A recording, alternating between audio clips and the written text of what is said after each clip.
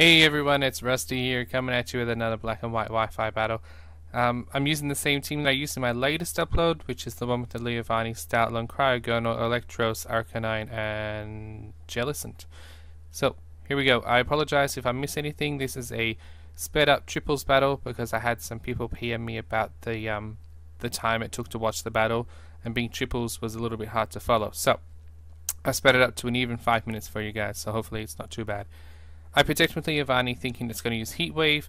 Um, it uses what's it? The uh, Hydreigon uses Dragon Rush, which I did not expect, as most uh, Hydreigons are special sweepers with uh, Specs or a Scarf. Um, Metagross, I don't know why it used Earthquake, to be honest.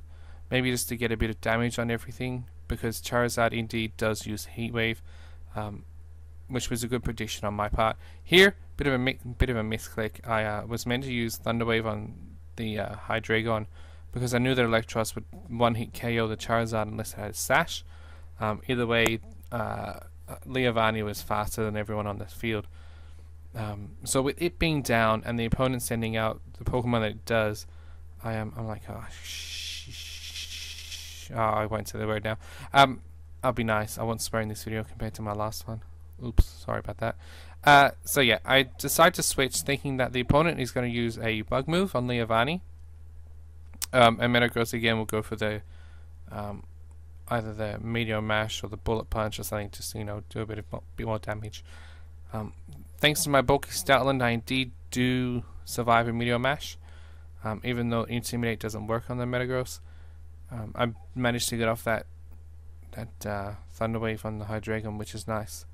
Um, and Jellicent takes that X-Scissor like a beast. Oop, hello.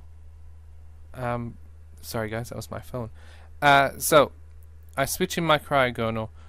I use Stoutland with Helping Hand. I love that move on Stoutland. It's really good. It's unpredictable.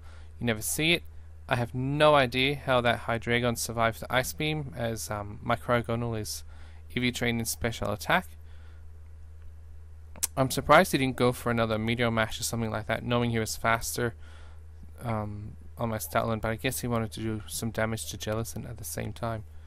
Um, so poor Cryogonal doesn't even take out one Pokemon in this match, which is a bit sad, because it is my favorite from 5th gen, but uh, yeah. So, I'm stuck now, it's he's got five Pokemon left, I've got just Jellicent, Leavanny, and Arcanine, I'm like, oh crap, I'm gonna lose the match. You know, got a bit of Parahax, which is lucky for me because uh, I don't really want to see a Dark Pulse coming my way.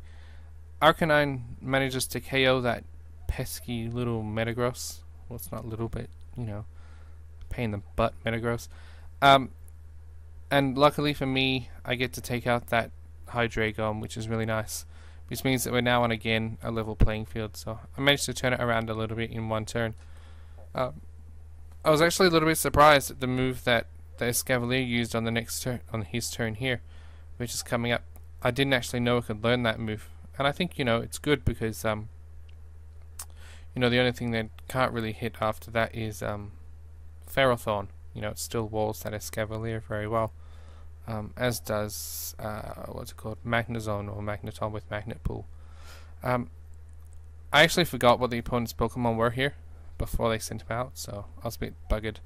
But yeah, come out with a close combat, which is a new breeding move for uh, Arcanine in 5th gen, which I think is really, really, really, really, really, really, really, really helpful um, to combat those uh, Heatran that are rife in in uh, in 5th gen at the moment. I see them everywhere. Everyone has a Heatran, um, which you think would be, you know, not as common because, you know, you've still got Infernape and now you've got Emboar and you still have um, Blaziken, which are all you know, pretty good Pokemon and can take a hit that Blaziken, oh whoops, that Heatran dishes normally.